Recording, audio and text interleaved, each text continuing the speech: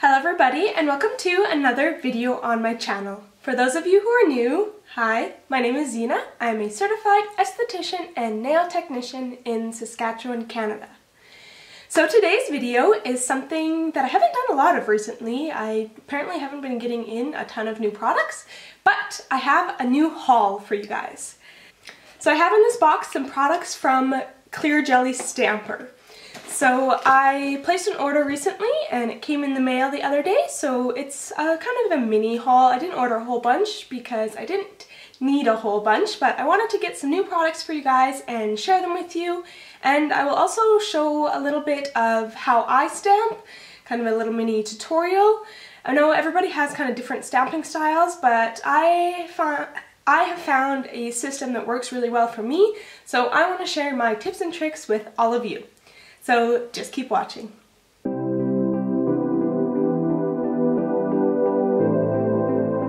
Okay, so here is just a quick little overview on everything that I recently purchased from the Clear Jelly Stamper. I ordered from the Canadian website, which I will link or post down here, and I also link down in the description box. But this is all I ordered, so like I said, it's just a little mini tutorial. So let's jump in and take a closer look at all of these. Okay, so this is the first thing that I purchased, and this is their French Mani brush. So I'm just going to take it out of the little sleeve. I love when brushes come like this, then they are a little bit protected.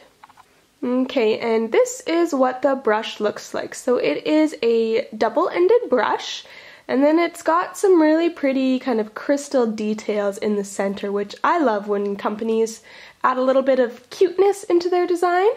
So on the one end of this brush is just a very thin detailer, which I am excited to try. This looks very similar to the one that I love and use all the time, so I can't wait to give this a try. Then on the other end is the French, French manicure side. So this is a very uniquely shaped brush and it's to do an easy French manicure. So you would go along the side and just kind of one swipe, then you'd flip it and two swipe and it would be done. So I am really really excited to give this brush a try. I don't do a whole lot of painted on French, but I definitely want to give this a try because I think just with the shape of this, you will get a gorgeous, nice smooth smile line and really easily. So another kind of tool that I picked up, this is their brand new double-ended crystal stamper. So it has a kind of a medium end and then a small end. So let's take it out of this packaging. I love this packaging, it's so cute. They have kind of a little bow on top. Such cute packaging. Okay, so this is what comes in the double-ended crystal stamper kit. So you get a, a, card to wipe off the excess polish when stamping, which I love these cards. They are not super flexible, but they're also not going to scratch your plates all up. So I love that they include these little cards in all of their stamping kits. And then this is the double-ended stamper. So again, they have the really cute crystal detail in the center. And then I love that Clear Jelly Stamper includes caps for all of their stampers. It just ensures that the stamper stays a little bit nicer and it's definitely protected when it's in your drawer. So I'm just going to grab out my Big Bling stamper just to compare the size for you guys. Okay, so this is the Clear Jelly Stamper Big Bling. Mine is in horrible shape because I use it all the time and I am a very messy stamper.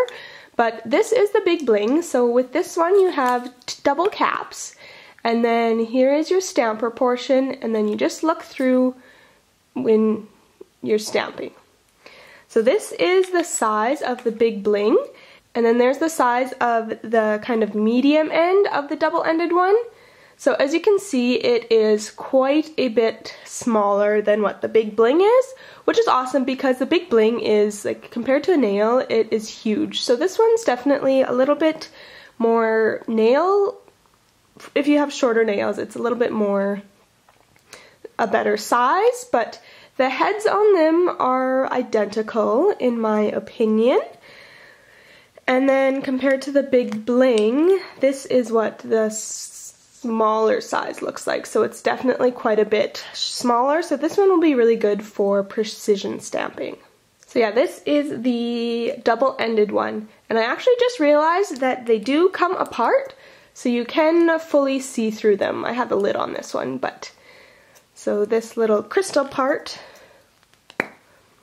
comes apart, so you can see through both ends similar to the big bling, which that's really cool. Okay, and then I picked up two new stamping polishes.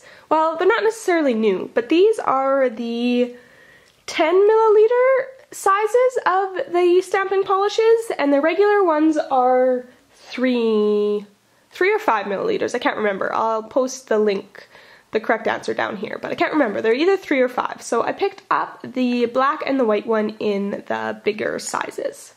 So there's just a little size comparison between the smaller size and the bigger one. So there is quite a bit of difference and I go through white and black the most so I figured I would grab the bigger size just to have in my collection.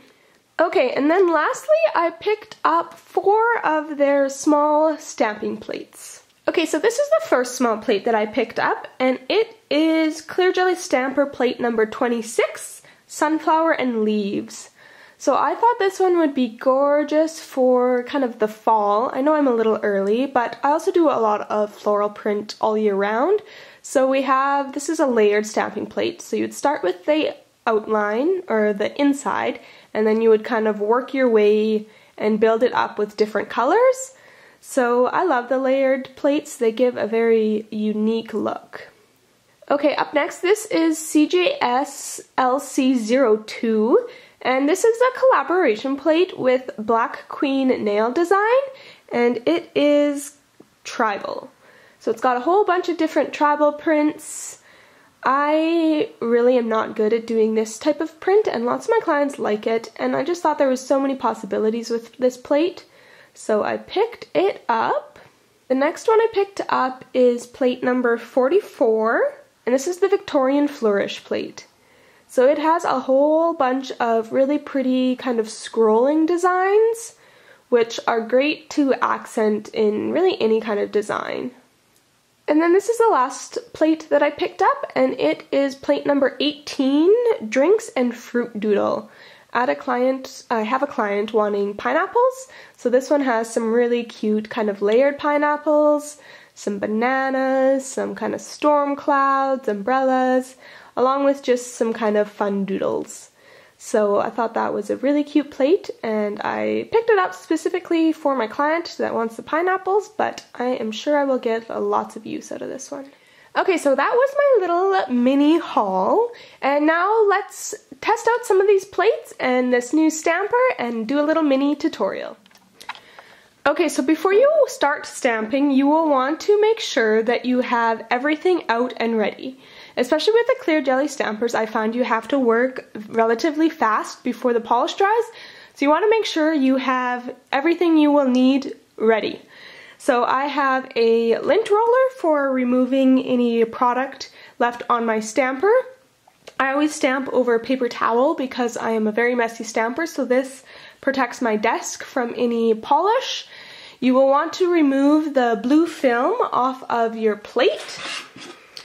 So when the plates come, they come with this blue film. So just find an edge and remove the blue film. I have a couple different polishes ready. I have my stamper, my scraper, and then in this bottle I just have some nail polish remover. And then another nice thing that Clear Jelly Stamper included in my package was how to use your Clear Jelly Stamper. So this is just a step-by-step -step list of instructions on how to use the product, which is really handy if you are a first-time user of the Clear Jelly Stamper. So I decided I'm going to show you the layered stamping because that's what some people have the most trouble with, especially picking up these larger indented images. So let's do a sunflower.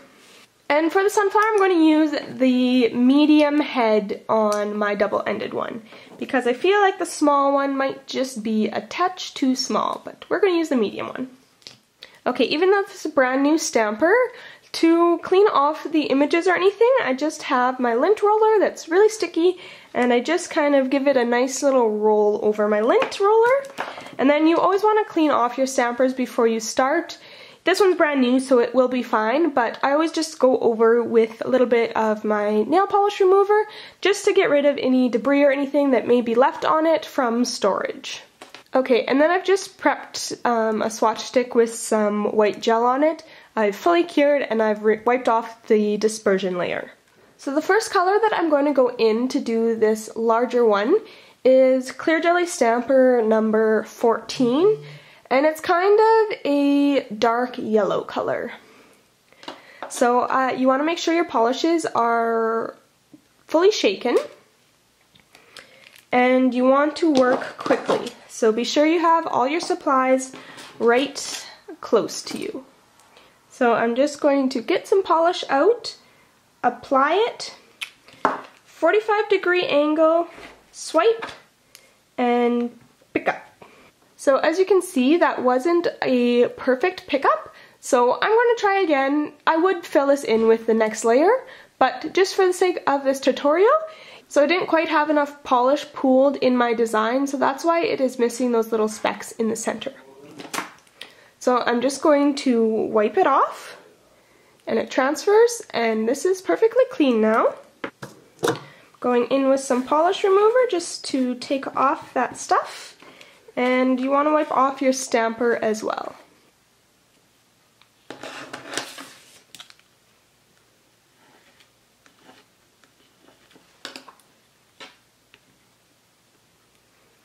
Okay, so there we have our image.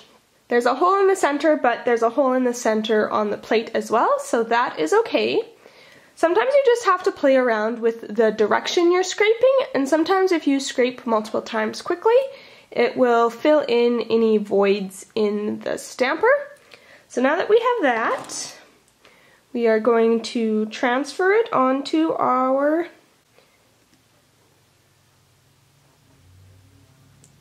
And as you can see, I was talking and I waited too long, so it doesn't want to transfer. So you want to pick up quick and then transfer right away to avoid this from happening. I'm just going to stick it back onto there. It will always come off on the lint roller. And let's work a little quicker this time without me talking in between.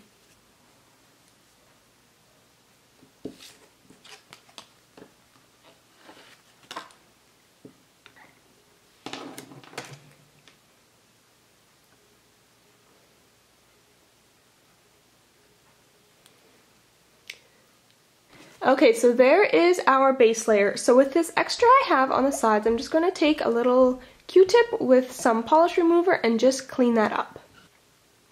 Okay, so there we have it all cleaned up. So that is our base layer. So now let's go in with the second layer.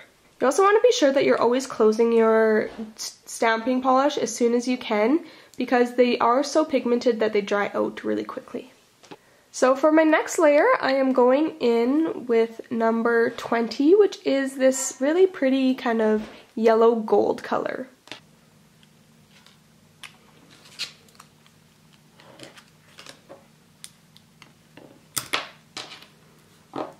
So there we have it. Then you just want to line up the images and press down. So there we have that second layer. And again, I'm going to go in with my acetone and just clean up this little blob down here. And then for the last inside of my stamp, I'm just going in with the black stamping polish, which is number one.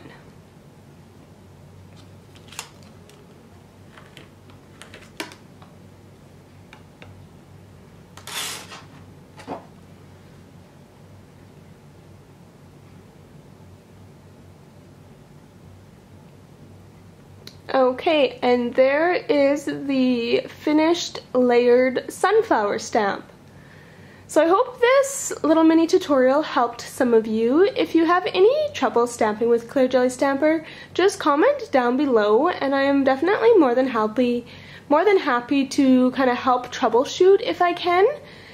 So yeah, be sure to check back next Monday for a new video. Be sure to be following me on all my social media, and I'll see you all then. Bye for now.